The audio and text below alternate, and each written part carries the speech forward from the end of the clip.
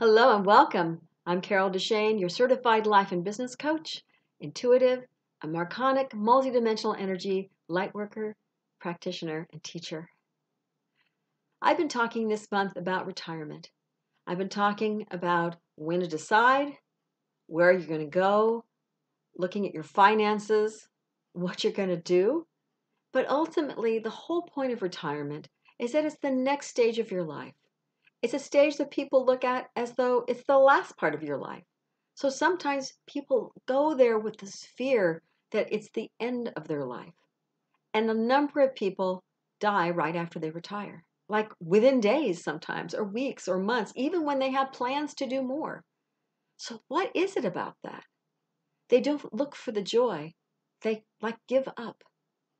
And I think part of it is that people, especially men, it seems, have their whole being and their identity as part of their job. So when they are either forced to or decide it's time to retire, they no longer have their identity. They're simply kind of swinging in the wind. They don't, they feel like their purpose is gone in life. The thing is, is that we need to help those people realize that their life purpose, their reason for being is not their job. It's why they do their job.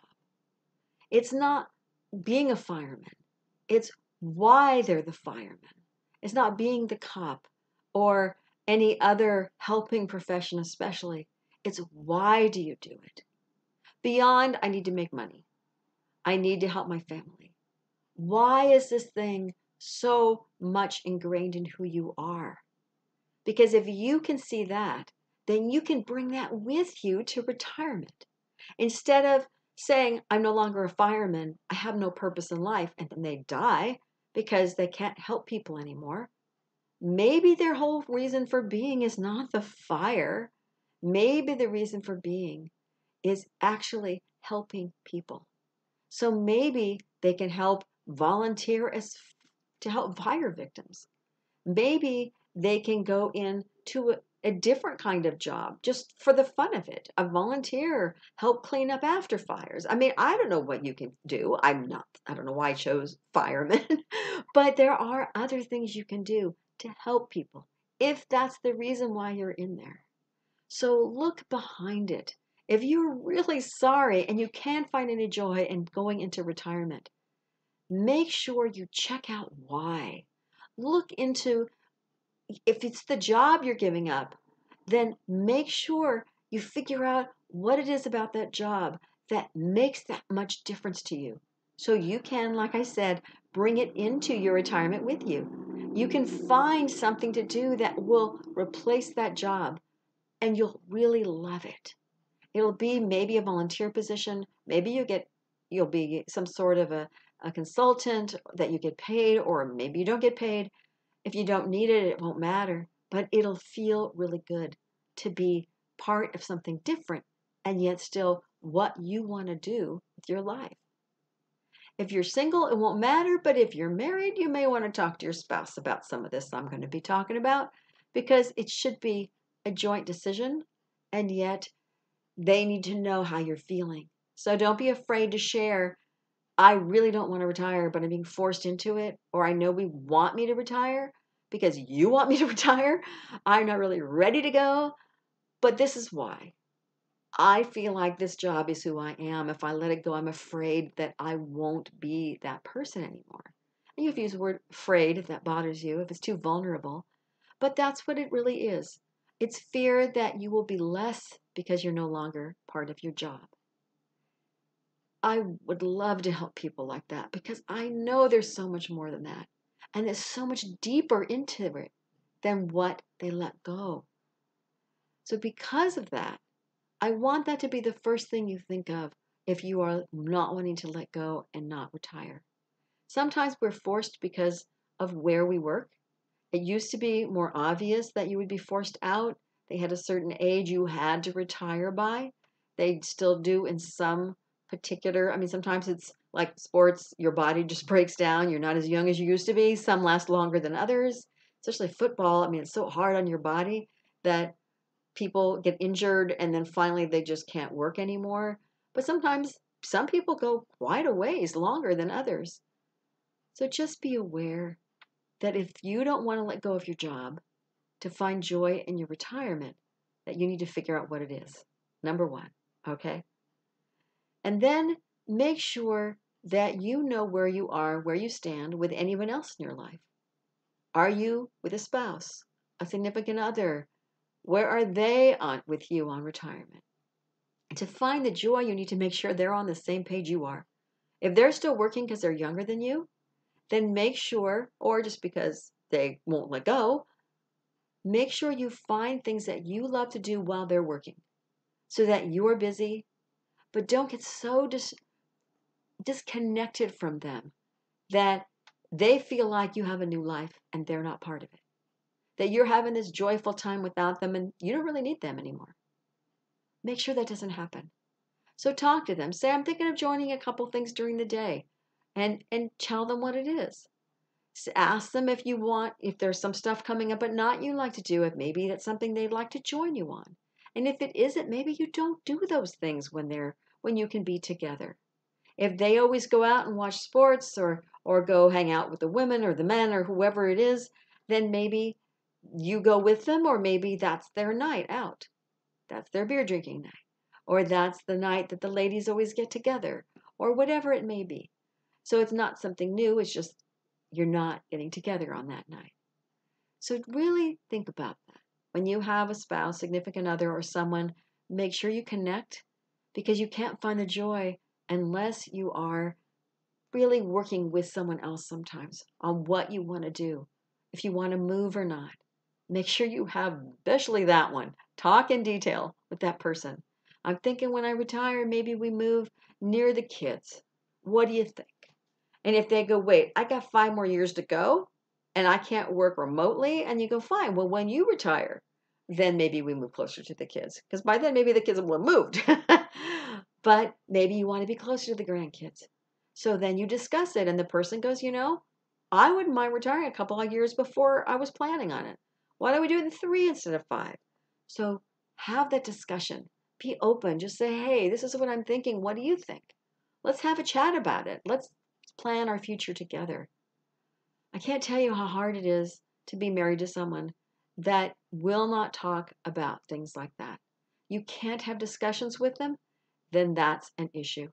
Because you want to be able to make decisions together and not be the only one making these decisions. Because if you are, you may find that the other person gets really annoyed with you, that they feel like you're taking over their life, they might get bitter. Just be sure that you have as many open ended discussions as you can with them until they feel like you're on the same page. Some people will not get on board, they will not want to discuss. So do as much as you can to make sure that they feel included.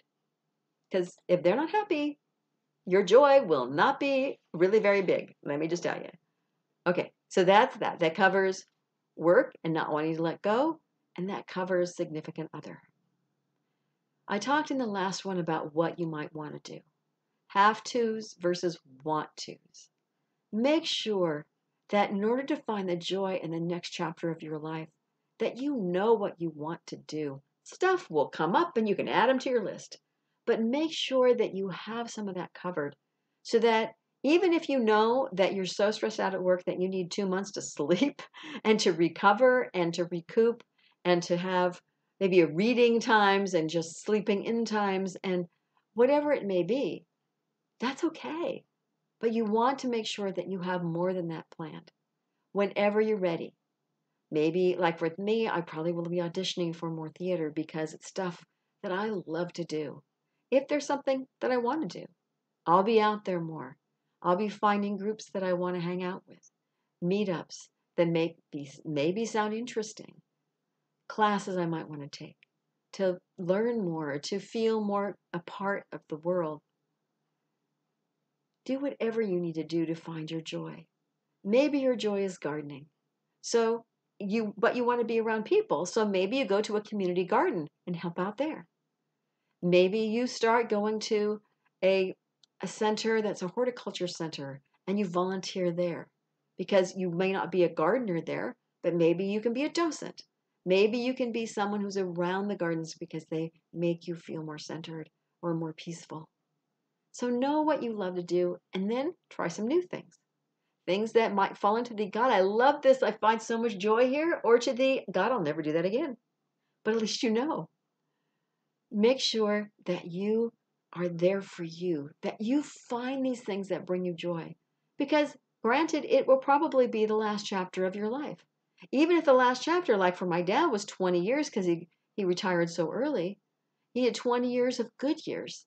They, my parents went on trips once a, once a year or so, sometimes every other year, that were cruises because they loved to cruise. My mom loved not getting off the boat and not having to cook, and my dad loved the group that they went with, and he could go out, get off and see all these different ports. So that was their favorite thing to do. Make sure that you find what you love to do. Make sure you make this last part of your life the best. It can be the best part of your life, or at least a joyful part of your life. You have to take advantage while you're feeling healthy. And if you're not, do what you can anyway. Find the joy in whatever you can do, whatever is there. Some people have issues with mental where they are losing some of their they're not necessarily senile yet, but they're losing some of their memory and they're getting forgetful. But I know somebody, for example, who is bound and determined to have joy anyway in her life. Because she says, Well, if I can't remember what I did, I'm not going to worry about it. It'll come back to me or it won't. If it's important, I'll figure it out. And that is the best way to think because sometimes you can force yourself to have more memory and sometimes you just, you, got, you can't. It's something that's just happening. Do what you can to find your joy. You're totally worth it and you deserve to have the best life that you can. Know that for yourself.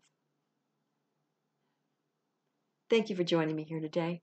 I hope you like what you hear. If you do, please subscribe to my YouTube channel and click on the bell notification so you know the next time that a video is posted. And if you'd like to know more about me, about Marconic energy, about energy space clearings, or about life coaching, you can go to my website at www.connect2joy.com. That's connect the number two, joy.com. And you'll also find the other direct link for my podcast, Living Your Limitless Life, which you can find on Stitcher, iHeartRadio, just about any of the of the of the podcast channels, as well as going to, directly to my website. You can also listen to it. Until next week, I hope you do remember and you know that you deserve all good things in your life, and you are already enough to have that joyful, limitless life that you desire.